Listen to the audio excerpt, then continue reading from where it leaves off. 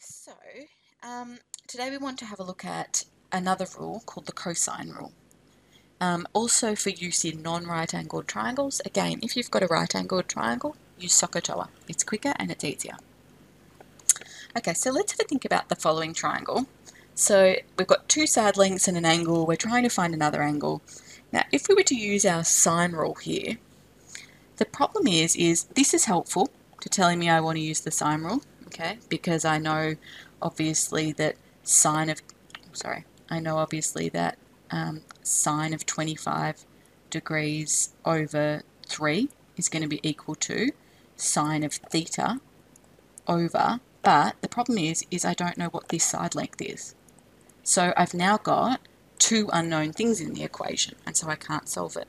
Okay, I know this 8 centimetre length, but I don't know the angle opposite that and haven't got enough information to find that.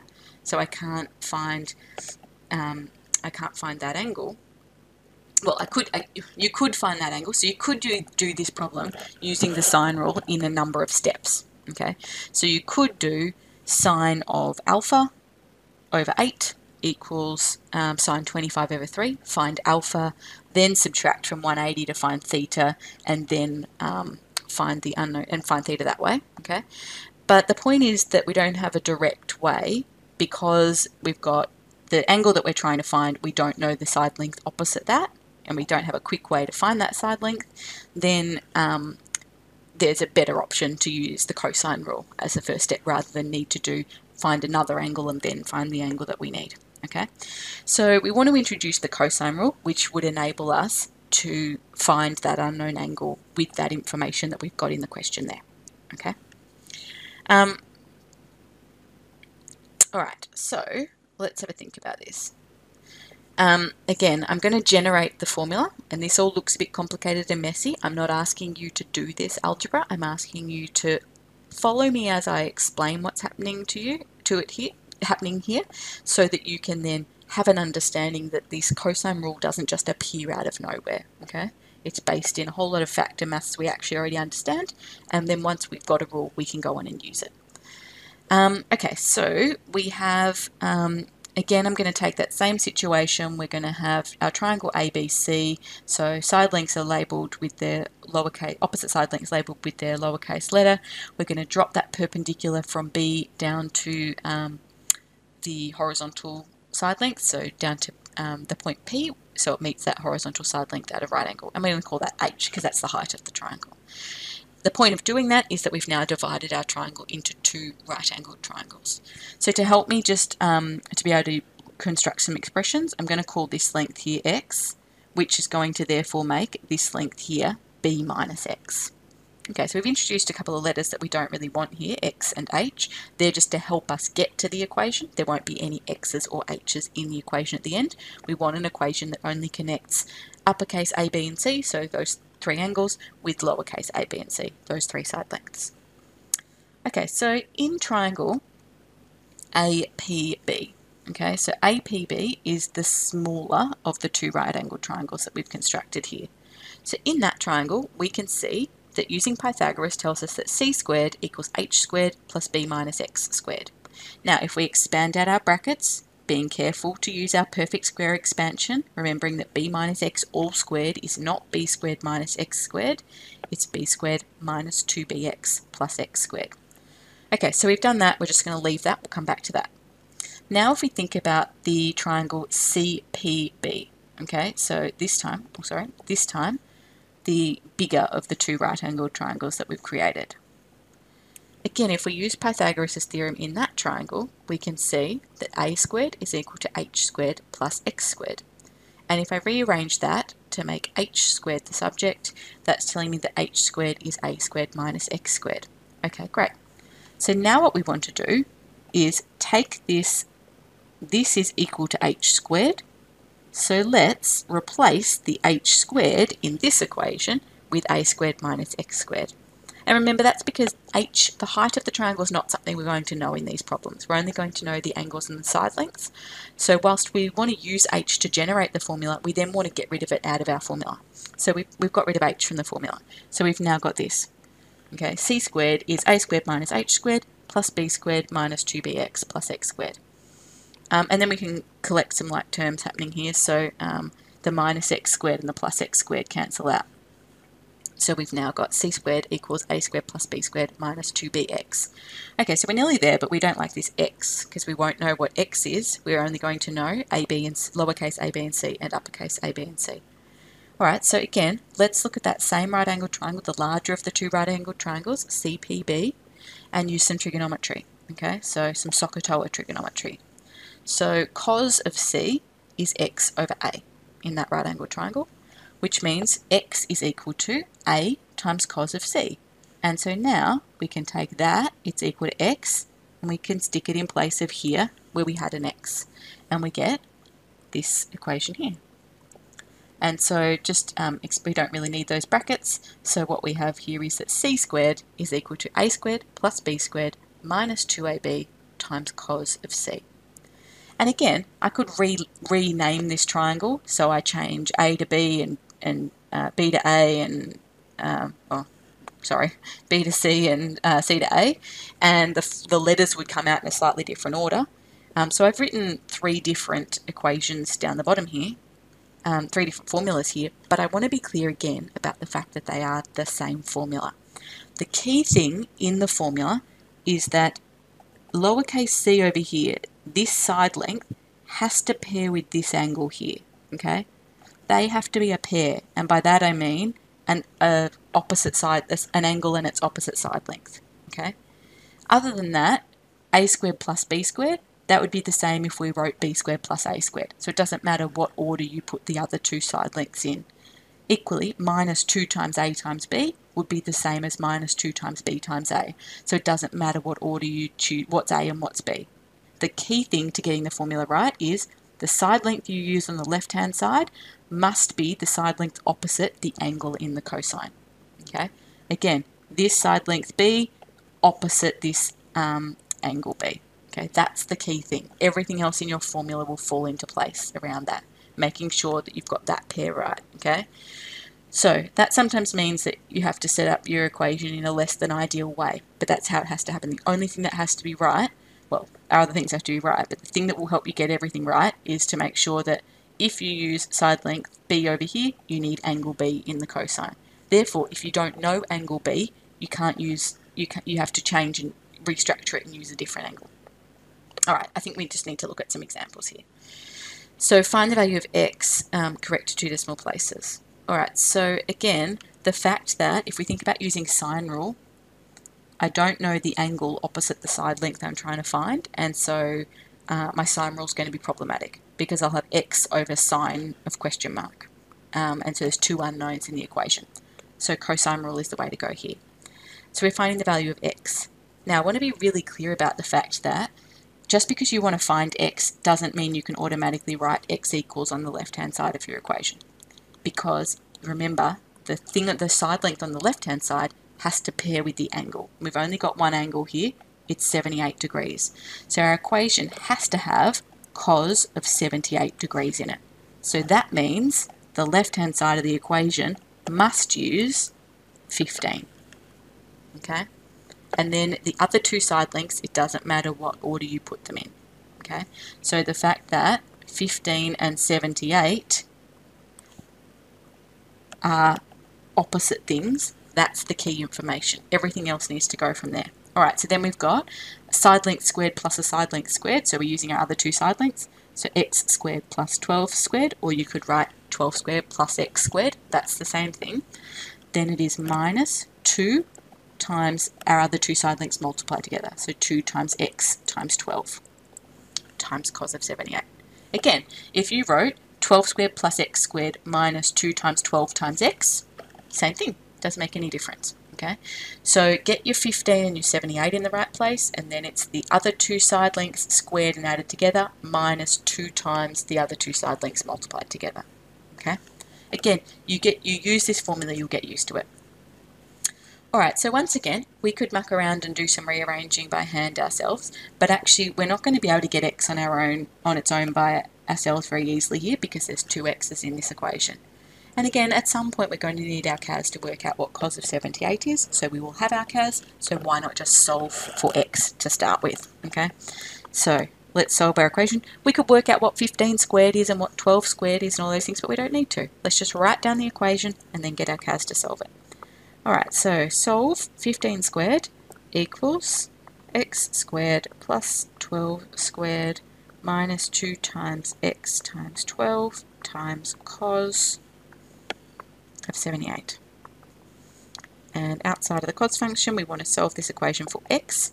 Now, same thing's going to apply here that we might need to add a restriction if it's the thing inside the cosine that's unknown. But it's not, the, we know the 78 inside the cos, so it's that's fine. It's just lengths that we don't know. So if it's the angle we don't know, we'll need a restriction. If it's lengths we don't know, we don't need any restriction at all. So solving this equation for x, control enter to get a decimal. Now, we get two solutions here, but we're dealing with a triangle, which we're looking for a side length, so clearly we can't have a negative side length, and so therefore we can ignore the negative one. Um, so therefore x is, two decimal places, approximately equal to 11.83, and our units here are centimetres. So again, thinking a bit about um, a bit about uh, is does my answer make sense? Okay, obviously we don't know the other angles in this triangle. Uh, it looks like this is a smaller angle, smallest angle, so this should be smallest side length. Um, we wouldn't necessarily assume that, but it does seem to make sense um, given the information that we've got. Okay, example 2. Triangle ABC, angle A is 52, side length A is 10, side length B is 7, find side length C. Okay, let's see what we've got here. So A is 52, side length opposite is 10, Uh, B is 7, let's make that that one, and we want to find side length C. Okay, so again, what drives the setup of your cosine rule is the fact that you know about this side length and its opposite angle. So we have to have 10 squared on the left hand side, and we have to have cos of 52 degrees at the end on the right hand side. Okay, everything else then we need to work around that.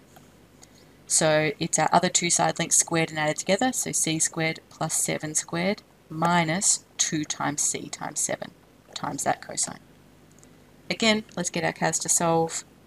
Solving, we've got 10 squared, okay, yes, you can write 100, but doesn't matter, equals c squared plus 7 squared, yes, you can write 49 if you want, minus 2 times c times 7 times, and yes, you can write 14c um, times cos of 52. Comma x, it's uh, comma c, sorry, we're solving for c. It's a c's a length, so there's no problems, we don't need a restriction. Control enter for our final answer. Again, c's a length has to be positive, and so therefore we know that c, corrected to decimal places, is 12.65 centimetres. Okay, example 3, find theta correct to one decimal place. Alright, so we want to find this angle, which means we need to, we want to have theta in the equation. There's only one angle in the cosine rule. It's going to have to go in the cosine, which means it needs to be the 7 centimetres on the left-hand side. So we know that we need cos of theta here, which means that we have to have equals 7 squared over here. Okay. Everything else, it doesn't matter what order. So now we're going to do 3 squared plus 8 squared minus 2 times 3 times 8. Okay, or you could do 8 squared plus 3 squared minus 2 times 8 times 3. It's the same thing. Uh, okay, um, solving for theta. Now this time, let's solve 7 squared equals 3 squared plus 8 squared. Now again, you can do some tidying up if you want. You know, 49 equals uh, 9 plus 64 is 73 minus, you know, if you want. Or you can just substitute the information into the equation, type the equation straight into your CAS as it is. Cos of, now theta is hard to get, I'll just use x, solving for x. Now, if I just press enter here or control enter here, I'm going to get this infinitely many solutions thing because it's the angle I'm trying to solve for. So we need to restrict the angle. So let's copy that. We need given that outside of the solve function. So given that, now we've got no other angles here, so we only know that theta has to be somewhere between 0 and 180. So given that 0 is less than, uh, now it's called x in my equation, which has to be less than 180. Control Enter, and now we find that theta is equal to 60 degrees. Okay, so again, using CAS to solve the equations involving trig ratios, so um, solving for a length, no problem. Solving for an angle, you're going to need the given that symbol after your solve function. Alright, let's just do a couple more examples. If you want to pause the video now and have a go at these three examples before watching me do it, and then come back and watch and see if you manage to get them right, uh, by all means go ahead. Okay, so find the length AB correct to two decimal places. Okay, let's just call this x for the purpose of our equation, setting up our equation. Now, 31 degrees is the angle we know, which means we're going to need to use 8 centimetres on the right hand, on the left hand side of the equation. So we're going to have 8 squared equals, and at the other end we're going to have cos of 31.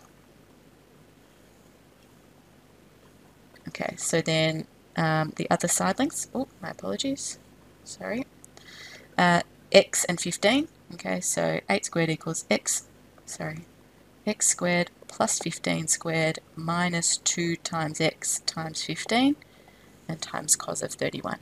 Let's get our CAS to solve that. Menu 3 1, 8 squared equals x squared minus 15 squared, sorry, plus 15 squared, minus 2 times x times 15 times cos of 31. Solve for x. x is a length, we don't need a restriction. Control enter for a decimal answer. Ah, now, x is approximately uh, two decimal places, 10.78 uh, centimetres, or 14.93 centimetres. So previously we were able to reject one of the solutions because we got a negative length, but neither of these are negative. And again, that's because we've got a triangle that's ambiguous here. So again, if you think about treating this length here as a pendulum, swinging it around, it would also be possible to get another um, triangle with the same information.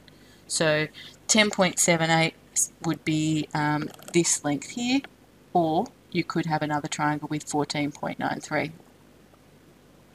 Okay, so two possible and correct answers here to this particular question. Okay, find the value of alpha correct to one decimal place. Alright, so uh, we're going to need to use alpha as the angle in the cosine, which means we need to use the 9 centimetres on the left-hand side. So 9 squared is equal to 6 squared plus 11 squared, or you can write 11 squared plus 6 squared, doesn't matter, minus 2 times 6 times 11 times cos of alpha. Okay, so again, the alpha and the 9 are what's important. Everything else will fall into place around that. Okay, so we need to solve that equation. Menu 3, 1. We're solving 9 squared equals 6 squared plus 11 squared minus 2 times 6 times 11 times cos of, I'll just call it x in my CAS. We're solving for x. Now because we're solving for the angle, we need a restriction. So outside of the solve function, given that, and again we've got no other angles so we can only limit it, we know it has to be somewhere between 0 and 180. x is to be bigger than 0 and smaller than 180. Oh, 180. Control enter for a decimal answer and we find that x, now be careful because it's not called x on the paper, so alpha, oh I think I might have done that incorrectly for the back, did I? Oh no, I called it theta here. Um, so alpha is approximately one decimal place, uh, 50, oh, sorry about that, 54.8 degrees to one decimal place.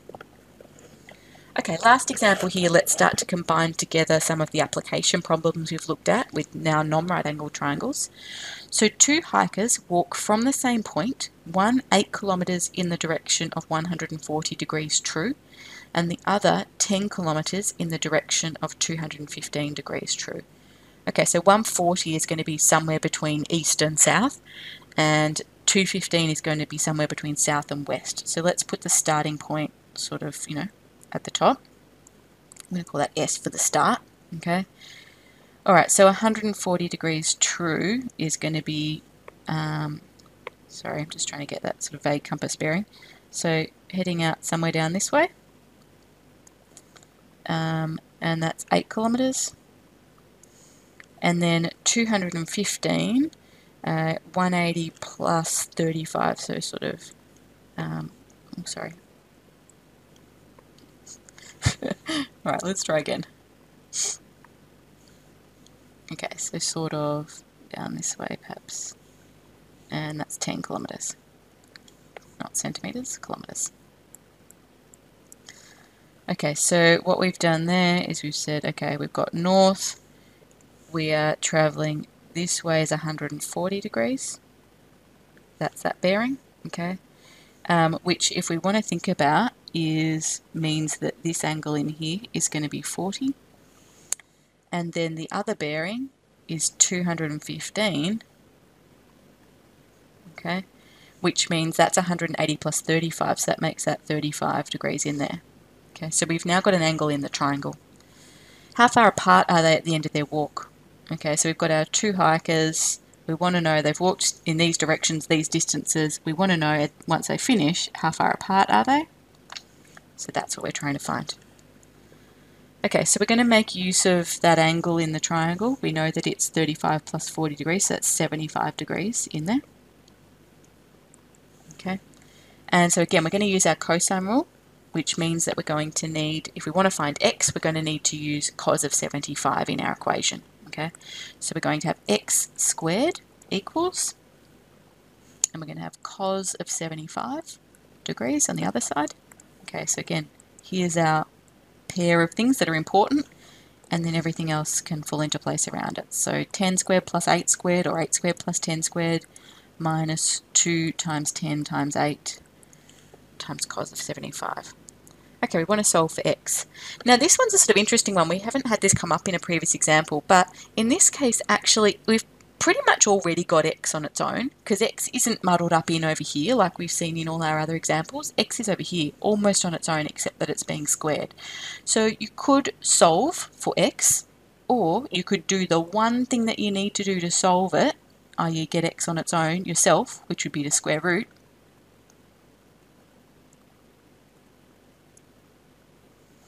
and then you could just type that in so you don't need to do any solving. So you could straight away put in square root of 10 squared plus 8 squared uh, minus 2 times 10 times 8 times cos of 75. Control enter and we find that x is approximately equal to 11.07 kilometres. Alternatively, if you'd solved the equation at the beginning, no problem with that. Solving x squared equals 10 squared plus 8 squared minus 2 times 10 times 8 times cos of 75 comma x control enter.